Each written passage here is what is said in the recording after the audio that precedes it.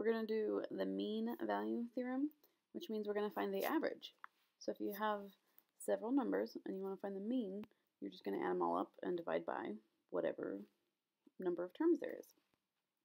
So we're going to do that with a continuous function here, and we're going to start off with this first graph.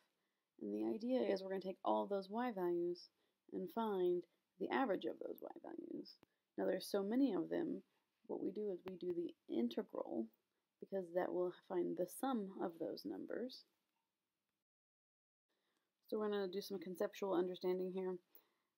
The definite integral does find the area.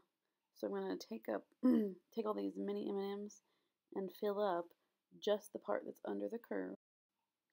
Now we're going to take that particular number, in this case, the number of M&Ms, and we're going to spread them out equally over that particular interval.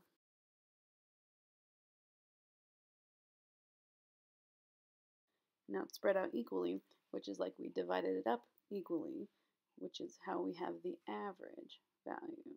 So we look at the top of the M&Ms to see what y value that goes to. And I think it looks like it's about 1.6 because um, the top layer of M&Ms um, does not go all the way across. Plus you have to account for the random holes in there where you couldn't really squeeze in another M&M, but it is a pretty big gap.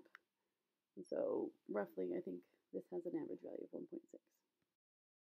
So now we're going to do the mean value theorem again. We're going to fill up the part under the curve with the mini M&Ms.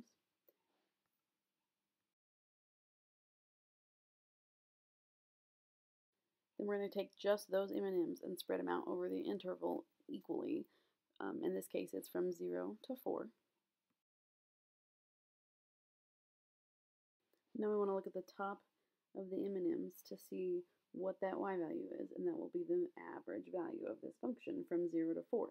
And I think I couldn't really decide between 2.6 and 2.7. You know, that top row goes above 3, but the one below it's about 2.5. But with only three M&Ms at the very top row, it's not going to be that much bigger than 2.5.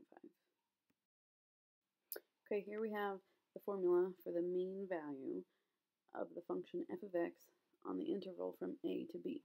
So it's just a definite integral, and then that part out front is like if you have the average of, we're going to find five values, we're going to add all those up and then divide by 5. And since it's a continuous function, um, we do it a little bit differently with the definite integral. This is the problem we just did with the M&Ms.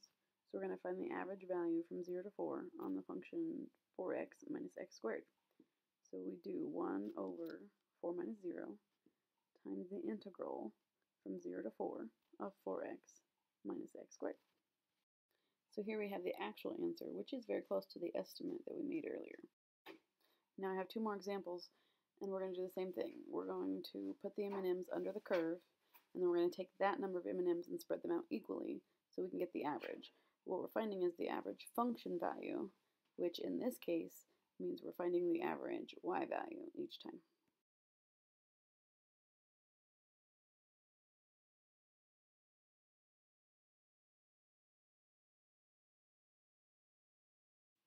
when you first look at the M&Ms, you might want to say the average value here is 2, but notice all those empty gaps in there.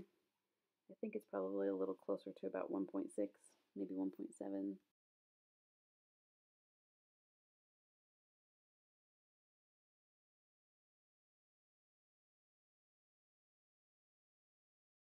And here we get the real answer, which is pretty close to our initial estimate. This is the last example so what we're doing is we're going to look at all the y values on this interval and find the average of those values. And it's continuous, which means we can't just do normal add them up and divide by that number. So we're going to fill up the space, and then we're going to take that much space and spread it out over the given interval.